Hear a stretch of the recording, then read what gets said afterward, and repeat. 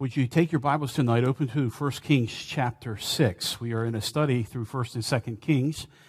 And tonight I want to talk about a house for God's name.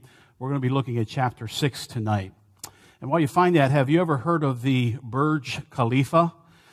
That is a the tallest building in the world. It is located in Dubai. And according to the building's website, this is what they say. They say more than just the world's tallest building, Burj Khalifa is an unprecedented example of international cooperation, a symbolic beacon of progress, and an emblem of the new, dynamic, and prosperous Middle East. So, as you can tell from that summary there, um, the Burj Khalifa is not just a building, it is a message. They're getting a message out uh, in that building. Now, and what they're saying is the significance of this building it communicates something to all of the rest of the world. Now, this is something that we've seen in history, is it not? That buildings that are built throughout history are more than just buildings, but they're intended to communicate a message, a very specific message to people that may see it. This goes all the way back to the Tower of Babel uh, in, the, in the Genesis chapter 11. There was a specific message behind the building of that tower. And again, we could say through history, buildings attract attention and they give a message. Many of the greatest leaders in the world have built buildings that bear their name. Now, this was true in Solomon's day as well. All of the surrounding nations had temples that were dedicated to their pagan gods. But Yahweh, the God of Israel, he was just, he was no local deity to be sure. He was the true and the living God, the real God. He was the maker and is the maker and sustainer of all things, the ruler of every nation, including the nation of Israel, and yet there was no building built for his name at that time.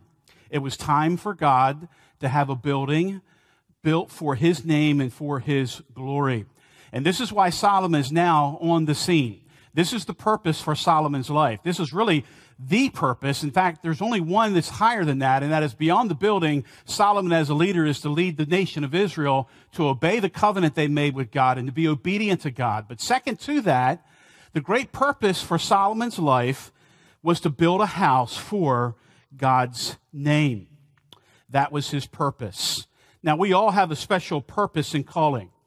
What is your purpose? Why are you a part of God's kingdom? Have you ever thought about that? Have you ever asked yourself that question? What is my purpose? What is my calling? Is it to be a mom, to be a missionary, to be a medical doctor, uh, to be a minister or a mechanic, whatever it is? God has a purpose for you, and we have to figure out that purpose, why God brought us here, and what we, how we do that, uh, fulfill that purpose for the glory of God. Now, when I was a teenager growing up here at Grace, God made clear to me the purpose for me was to preach the word. I didn't know that I would be a, the pastor here at Grace, but I knew that I wanted to preach God's word. And under the ministry of our founding pastor, Pastor Johnson, uh, God laid that on my heart.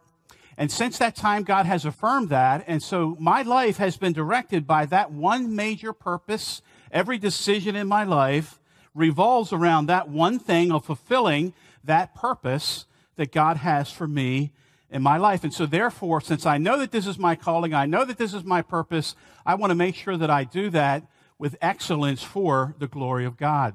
And this is what we learn from our text here. I would say the big idea here in this particular chapter is understanding our special purpose and calling shapes not only what we do, but also the manner in which we do it. Again, Solomon understood that God brought him to the throne of Israel at that particular time to build a house for his name. In fact, look in chapter 5. Look down at verse number 3. This is Solomon speaking here, and uh, actually drop down to verse 4. But now the Lord my God hath given me rest on every side, so that there is neither adversary nor evil occurrent. And behold, I purpose to build a house under the name of the Lord my God, as the Lord spake unto David my father, saying, Thy son whom I will set upon thy throne in thy room.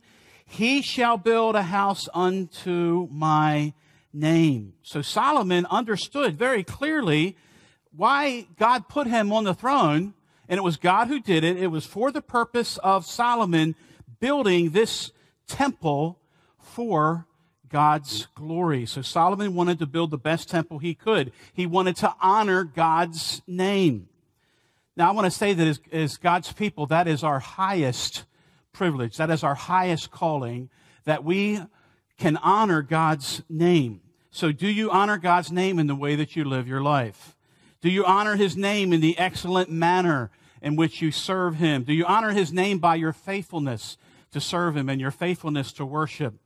Again, this is our greatest calling. Remember what Jesus taught his disciples when he taught them to pray, Our Father who art in heaven, hallowed be thy name. And that word hallowed is a, a, a, verb. It's not necessarily a prayer request. It's a command that God's name be hallowed. That God's name be treated with honor. That God's name be made, treated with holiness. You see, and honor. In fact, the word there, hallowed, is uh, which where we get our word to set apart, to treat as holy. So this is the very first thing that Jesus tells his disciples to do is to make sure that you treat God's name holy, that you honor God's name in the way that you live your life and the way that you fulfill your purpose and your calling. Now, with all that, I want to show you from our passage four principles that we need to apply in our life as we serve and fulfill God's purpose. So here's the first one. Number one, I would say get in harmony with the hand of providence. Look at verse number one of chapter six. And it came to pass in the 480th year after the children of Israel were come out of the land of Egypt in the fourth year of Solomon's reign over Israel, in the month Ziv, which is the second month, that he began to build the house of the Lord. Now, this might not look like it on the surface, but this is one of the most important verses in the Old Testament. And you can look at this verse three ways. First of all, you can look at this verse chronologically. You see, verse 1 kind of furnishes a biblical uh, chronology uh, of this period because it tells us specifically the time when the children of Israel left Egypt. Uh, 480 years from the time that Solomon began to build the, this temple is when the children of Israel left in the Exodus. Now, this is an important date. In fact, it's an important date in archaeology. I know many of you know that I go over to Israel with uh, ABR and I do some, uh, some archaeology. And, and very important to us is be able to date things at the right time. But in order to do that, you have to make sure that the dates line up with what the Bible says. And this, this is a very good, uh, specific date, and it's used because it tells us that the Exodus happened at around 1446 BC. If Solomon began to build the temple in his fourth year of his reign, like it says, that would be 966 BC. If you go back 480 years, you come to 1446 BC, which is an early date of the Exodus. Now, that, the reason that's important, I don't want to give you too much here and bore you tonight, but the reason that's important is because there's a battle between those who believe the Bible and are conservative and those who are liberal and don't believe the Bible has any historical reliability. Liberals will say, well, no, the, the date of the Exodus was much later. It was in, in 1230 BC, not 1446 and it was under the, the Pharaoh the Exodus was Ramses. In fact, all the movies that you see, you know, will have Ramses as the Pharaoh of the Exodus, and that supports more of a liberal view of the Bible, which doesn't really treat the Bible as it being historically accurate. But the real Pharaoh of the Exodus was Amenhotep II. Uh, the Pharaoh of the oppression was Thutmose, because that goes all the way back to 1446 BC. So this is a very important date chronologically, but also it's a very important date theologically. It was clear from this that what the writer was trying to say was that, again, God had fulfilled his purpose. This was part of God's promise. God had already promised David he was going to put a son on the throne that would build a temple, but God also promised that he would dwell among his people permanently when they got to the promised land. In fact, you might remember it when right after the Red Sea miracle, when Moses was singing the song of victory, that he said this in Exodus 15, 17, you will bring them into, in and plant them on your own mountain, the place, O Lord, which you have made for your abode, the sanctuary, O Lord, which your hands have established. So again, this is affirming that very promise. God did bring them in, and now God is building a sanctuary on a mountain, and this happens to be Mount Zion, the place that God had appointed for the place of worship. So we look at, look at this chronologically, we can look at it theologically, theologically. We can also look at this verse practically. You see, practically speaking, Solomon knew that it was God's time for that temple to be built. It was in God's redemptive plan and throughout redemptive history. At this particular moment, this was the right moment for this temple to be built. Now, how did Solomon know that? Well, part of being wise, and you remember Solomon was a man of great wisdom, is being able to discern the hand of providence, being able to see what God is doing through circumstances. I remember a lot of times when uh, Pastor Johnson would say something like this. He would say, "We have to hit, uh, we have to hit the iron while it's hot," and uh, he would say that sometimes when we were getting ready to go into a project, and what he simply meant by that was, you know, the iron is hot, and that's discerning God's providence. The door is open, things are ready. We better be ready to do what God is providentially guiding us to do. The Apostle Paul said it like this For a great door and effectual is open unto me. So, as believers, we have to discern that the providential workings of God. And Solomon knew that God had set before him an open door. This was the time. He knew that the purpose was right. He knew that the time was right. Solomon's father David had made all the preparations. What were two, think about it like this. What were two of David's greatest sins? If you would say, well, that was probably his adultery with Bathsheba would be one, and taking a census of the people, that would be two. Those two things. And you would be right. And as a result of his numbering the people, David purchased property on Mount Moriah, where he built an altar and he worshiped the Lord. As a result of his sin with Bathsheba, he ended up marrying Bathsheba, and God gave them a son whose name is Solomon. So now we have Solomon building a temple on David's property on Mount Moriah. Think about that. God took the consequences of David's two worst sins, a piece of property and a son, and he built a temple. Where sin abounded, grace did much more abound. And David had made all the preparations for Solomon. He collected money in 1 Chronicles 22. He had a stewardship campaign where he collected the equivalent of $400 million in today's market. In 1 Chronicles 28, David gave Solomon the blueprints.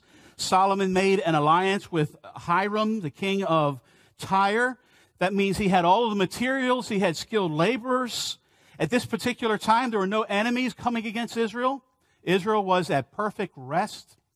This was the perfect time for this temple to be built because God providentially had controlled all of these circumstances, and God was now setting this opportunity before Solomon. And Solomon was able to discern this. This was the right thing for him to do. And this temple would be important for several reasons. First of all, all Israel would have a central place of worship. No longer would they be going to the high places where others worship pagan deities. Israel wouldn't be tempted to do that with a, one central place to worship God. It would unify the nation of Israel to come and worship in this one place. God wanted a permanent place to dwell among his people. God didn't want to be any distant deity. God wanted to be always among his people. And God's name would be on that temple, that very spot. Up until this point in redemptive history, Israel was not associated with any particular place. God had manifested himself in a burning bush and a pillar of fire on top of a mountain and a tabernacle through an Ark of the Covenant. But now, this would be the established place. This would be the place for the house of God. And then, thirdly, God's glory would be on display for all to see. Everyone would see that glory. In fact, we'll get to it later, but in 1 Kings chapter 8, when the temple is dedicated, the glory of God just comes down on that thing so much so that the priests couldn't stand to minister in there. They had to get out because the glory was so great inside there. And that would be a place where God's glory would dwell, where God's name would be on that place. It would be a glory to the rest of the nations. It was more than just a building. It was a place where God would set his name, where God's glory would be seen. So, but again, let's get back to the principle. Get in harmony with the hand of providence. When God calls you to do something for Him, when He gives you a special purpose, He will also guide you providentially. He will arrange the circumstances and the things that He wants you to do. Secondly, here's a second principle Be committed to do the work with excellence. Be committed to do the work with excellence. When God calls you to do something, make sure that you do it right. Solomon would later write in Ecclesiastes 9:10, "Whatsoever thy hand findeth to do, do it with thy might." And this is what we see in this chapter. In verses 2 on down to verse 10, it kind of gives us the dimensions of this building, but it tells us it was made with the finest of limestone, prepared with the greatest of care. What I want you to see is look at verse number 7 of, of chapter 6. And the house, when it was in building, was built of stone, made ready before it was brought thither, so that there was neither hammer nor axe nor any tool of iron heard in the house while it was building. And this is amazing when you think about it, that when the when the stone cutters were shaping the stones and bringing them back and putting them in their particular place, they did all of that at the quarry where they cut the stones. And they did it with such perfection that when they brought the stones back to the temple to put the stones in, they simply slid the stones in place. There was no sound of an axe or a hammer or a chisel or anything like that. It was very quiet there because they were doing their work with incredible precision and incredible excellence. Dr. James Turner Barclay was a distinguished American scholar, and uh, he was in Jerusalem doing some work this was back in 1854. And he was taking a walk outside the old city walls of Jerusalem with his son and with his dog. Suddenly, the dog was nowhere to be found. At the foot of the wall, his son noticed a deep cistern, kind of a hole with a cavern there. And peering inside, his son heard the sound of distant barking. The dog had gone into this massive cavern that was there, and thus a dog is credited with one of Jerusalem's greatest archaeological discoveries. What did the dog discover? Well, there was a, a massive cavern there. In fact, the, the mouth of it, the doorway of it, was 754 feet long, over 330 feet wide. It was underneath the city of Jerusalem, the old city. It was between a place called Herod's Gate and the Damascus Gate. And you can still go there and see it today. In fact, I, when I was over there, I went inside this very this, is this very place. It's also called Zedekiah's cave because Zedekiah the king had hid there one time when the Babylonians were uh, invading. It's also called Solomon's quarry. And why is it called that? Because scholars believe this is the quarry that Solomon used to form the stones that would be used to build the temple. And if you go inside there and look around, there are obvious signs of quarrying on the sides and on the roof. And this was very practical because this cave would provide protection from the sun's scorching rays where they are working in the summer, also from the rainstorms in the winter, so they could continue working year round. The cavern is relatively close to the Temple Mount, so carting the stones wouldn't be that far off. And the Bible says that Solomon used 80,000 hewers of stones. And they brought these great costly stones and they just slipped them into the right place when they were building that temple. Again, they did it with such perfection, with such precision. And, uh, and the quietness at the site of where the temple was being built spoke of the sacredness of this project, the reverence of their purpose. And so it was appropriate for Solomon's workmen to do this work with reverence because they were doing a holy work for a holy God when they were building this temple. And this might also remind us of the way God works in our own life. You know, when God is working in us, He normally does it, He does it very quietly, doesn't He? Doesn't He? It's the quiet, sanctifying work of the Holy Spirit that He does in our life. He does it in us quietly. He does it in us perfectly. He is working in us to make us what He wants us to be. But then if you look from verses 15 down to verse 35, and we don't have time to go over all these verses in detail, but let me just give you the summary. These verses describe the beauty and the, and the skilled work that went on, went on on the inside of the temple, in the interior, in the holy place. It was covered with cedar boards on the walls, pine boards on the floors. All of it was overlaid with gold. Notice verse 21 and verse 22, what it says. So Solomon overlaid the house within with pure gold and he made a partition by the chains of gold before the oracle. The oracle is the holy place, or the holy of holies, we could say. and he overlaid it with gold, and the whole house he overlaid with gold until he had finished all the house, also the whole altar that was by the, the oracle, we could say the Holy of Holies, he overlaid with gold. And so, uh, this, you can just imagine how beautiful this was on the inside. Uh, the interior, the holy place covered with gold. The Holy of Holies was a, a, a square room, 30 foot cube, we could say, symbolizing perfection. It also was overlaid with gold, and the total would be about 23 tons of gold that was used to overlay it. In verses 23 down to verse 28, this speaks of the cherubim, the two cherubim. They were 15 feet high, made of precious olive wood overlaid with gold again. They had outstretched wings. In verses 31 down to verse 35, it speaks about the doors that were leading into the Holy of Holies. Again, that was made of olive wood. It was overlaid with gold. There was a curtain that hung on the inside of the Holy of Holies.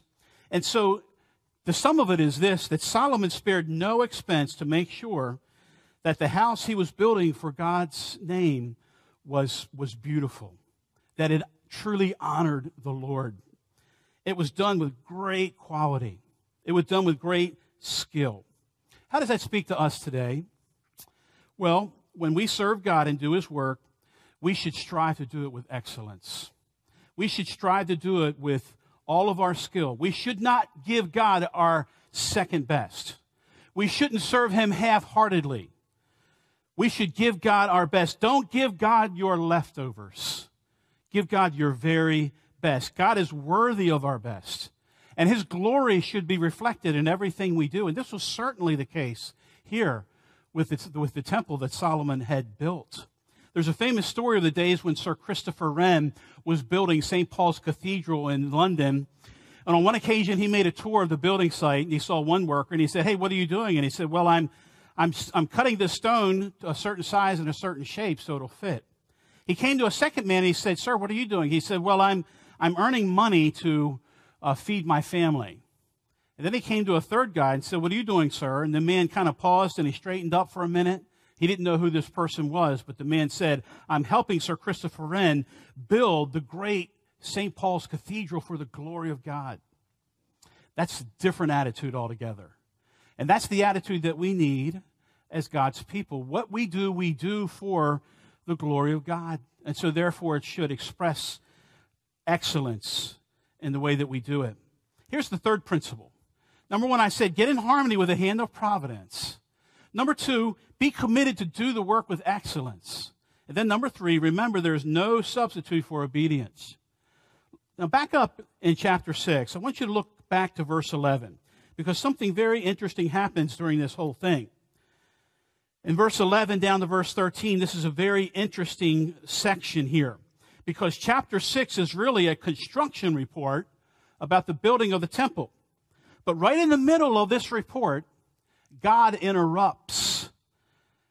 He shows up right in the middle of this project. Uh, now, this is the second time that God will appear to Solomon. Now, God will appear to Solomon again a third time. But this is the second time that God appears. Now, we're not exactly sure how God appears to Solomon at this time. Was it a prophet that came and gave him the word? Was it another dream like he had before when God promised him wisdom? Was this a vision during the day? Did God come in his Shekinah glory? These are questions that we have, and we're not going to have any answers to that. We're kind of left to wonder because the emphasis here is not on how God appeared but the emphasis is on the message, what God had to say. This is what's important about this. Because look what God says in verse 11.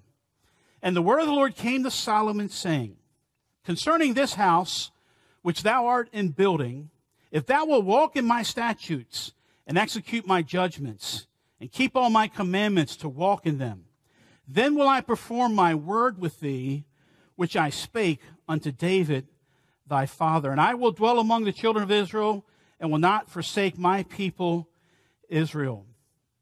Now, God wanted to make something very clear about this whole temple project. This was a magnificent project. It was done in order to honor his name. However, there would be no substitute for obedience. And God was reminding Solomon that he must, const- as he has to constantly remind us, that God is not impressed with our work if our walk is not in obedience to him. The things that we do for God are no substitute for our obedience to God. What God wants from us more than anything else is an obedient heart. You might say, well, I do all of this for God and I do all of this. And I, yeah, but are you, do you have an obedient heart? Are you walking with God? Because that's what matters the most. No amount of money, no amount of time or effort or achievement can earn God's favor or be a substitute for just simply obeying Him and simply doing His will from the heart. So Solomon must not trust the temple, but he has to trust God. You see, for Solomon, the temptation would be, you know, God, I built this great temple for you, and so therefore you should, you know, kind of give me a little slack, you know, in the way that I live. You know, I did all this work for you. That's not the way God operates. God will not overlook our disobedience. He will not overlook our indiscretions simply because we did some great things in the past. And you know, this would be meaningful for later on in the nation of Israel because what you'll find as you come to the book of Jeremiah is that the people had made the temple an idol. They were thinking that they could live however they want and then come to the temple and worship God and, and get God's favor and expect everything to be all right, the temple had become an idol. And that's why Jeremiah in Jeremiah chapter 7 preached uh, his most famous sermon, which we, we, is called the Temple Sermon.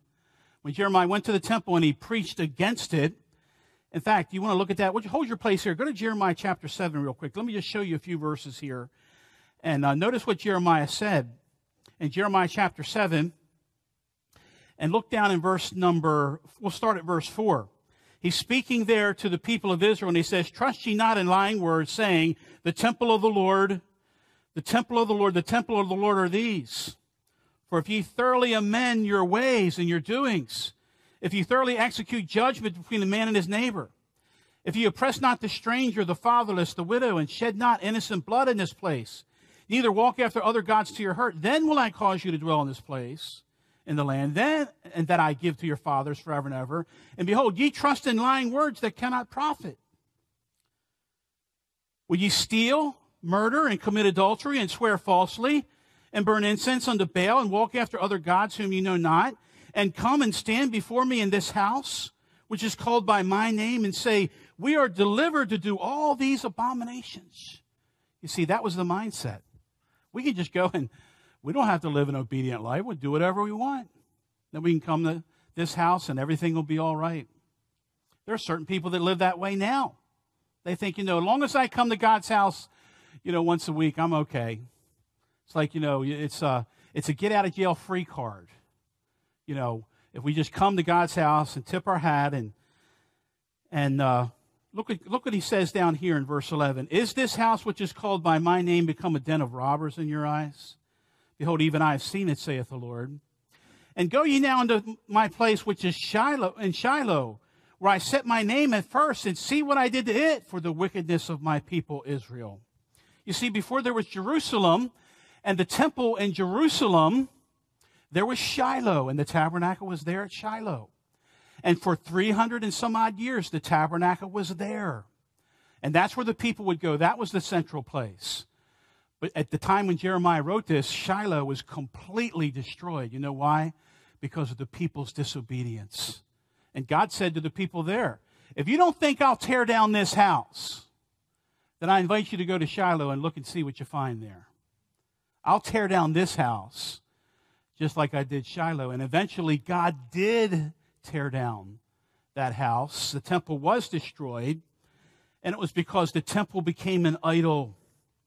It became a substitute for obedience to God. And by that, the temple then became a, not a blessing, but a curse to the people. And again, the application is there is no substitute for continual obedience to God's word.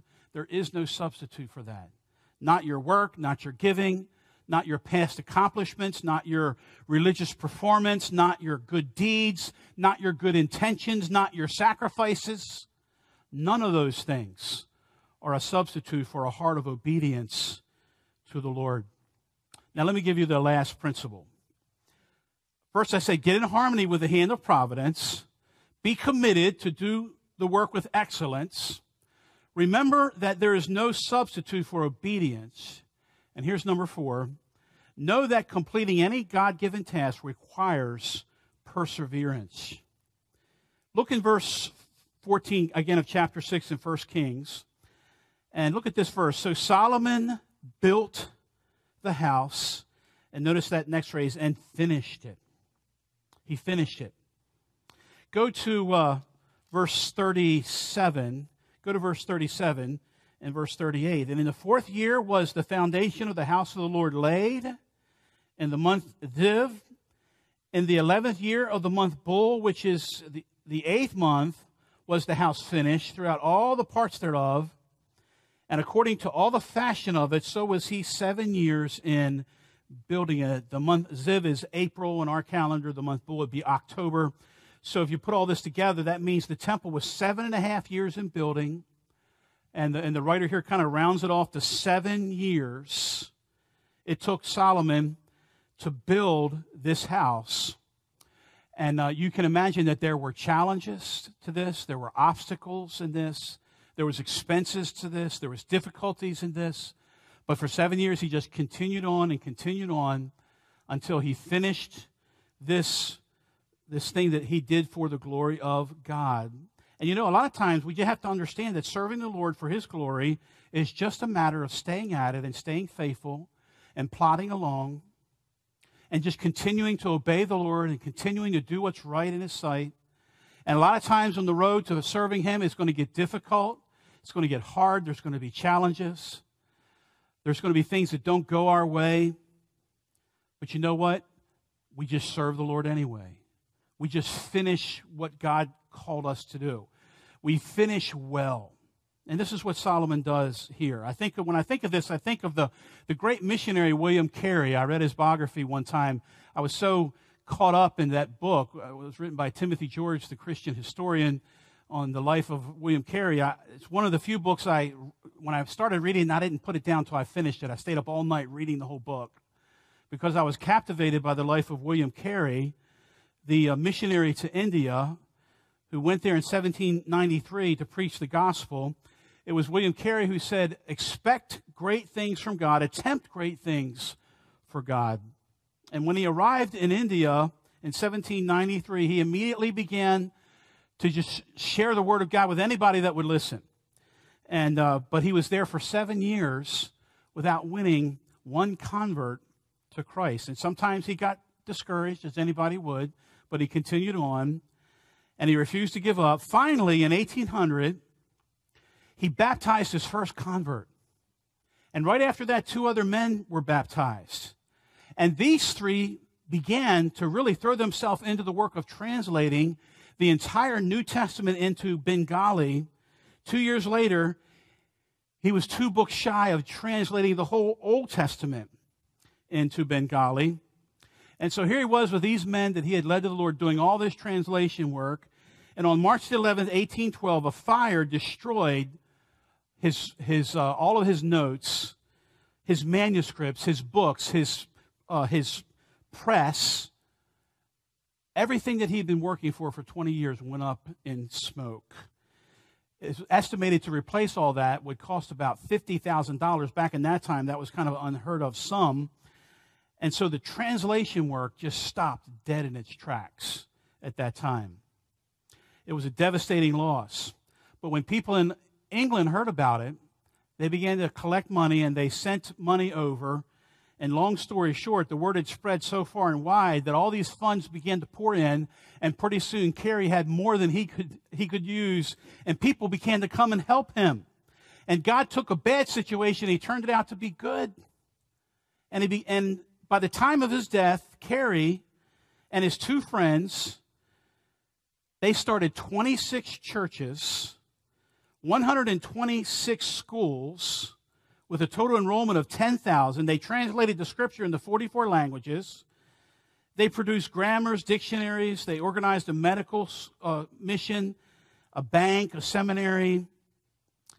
And before William Carey died, someone asked him one time, they said, uh, How were you able to do so much for God? And this is what he said He said, I can plod. That was the secret. I can plod. I can persevere. He said, To this I owe everything. I just stay on. I just stay faithful. I just plod on. That's the secret of it. And you know what? That's very true. In the Christian life, a lot of times it's just being faithful, it's just plodding on. That's what it takes to do great things for the glory of God. So Solomon was able to build a house for God. And again, these four principles we can apply in our own life. So let me ask you are you fulfilling the calling that God has for you? And do you do your work with excellence? Do you desire to please God in what you do? Now, let me just say this. You know, God is still building a house. He's not building a house of stone like he did in the Old Testament. The temple that God is building now in this age, in the New Testament, is not with stones, it's with souls. It's with people who are saved. The Bible says this in, in 1 Peter that the materials are souls, and that when people get saved, they're added to the temple of God. We are living stones added to God's building in a spiritual house. God is building a temple, God is building his church. And you know what? He wants all of us involved in that. That's why we have to be faithful to get the word of God out, to, to share the gospel, because we are involving ourselves with God in building his spiritual house that we'll all be a part of. And by the way, let me also say that God is busy building you personally. He's building you spiritually. He's shaping you in the quarry of sanctification. He is using suffering. He's using temptation to chip away everything in our life that is unholy, to fashion us so that we'll fit in perfectly in that place that God has for us one day there in heaven. Billy Graham used to tell the story of a friend that he knew who, uh, during the Depression, lost everything his job, his fortune, his home. But he held on to his faith. That was the only thing he had left. And one day he was walking down the street and he noticed some men were doing some stonework on a huge church. And so he said to one of the men that was chiseling this kind of triangular stone, he said, What are you doing with that? And the man said, I'm shaping this stone down here so I can fit it into that spot up there. And he pointed to a place up in the steeple area. And immediately the friend was touched by that. He saw what God was doing. God was shaping him down here to fit in that great temple up there. That's what God is doing with you. That's what God is doing with me because he's still building a house for his own glory, for his own name. Let's bow for prayer together tonight. And I want to ask you, with your heads bowed and eyes closed, do you know that you are a living stone, that Jesus is your Savior, and that you're part of God's spiritual house? That's the most important thing to know that you're saved, that you know Jesus Christ.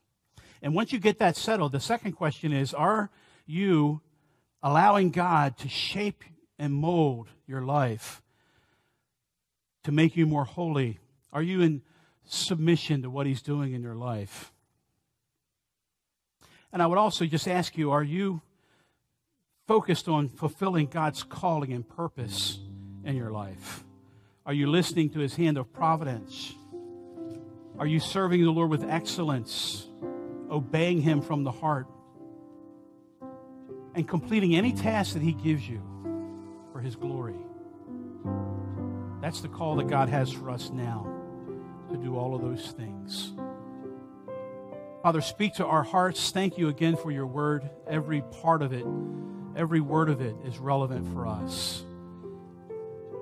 Many times people look at the Old Testament and can't seem to find things that are helpful for us today, but Lord, we know that all scripture is given by inspiration and it's profitable. And in this story here of Solomon building a temple, we can see things that help us today that we can apply in our own life. Help us to be like Solomon in these areas, to serve you for your glory, to be concerned about your name and your honor And we pray in Jesus' precious name.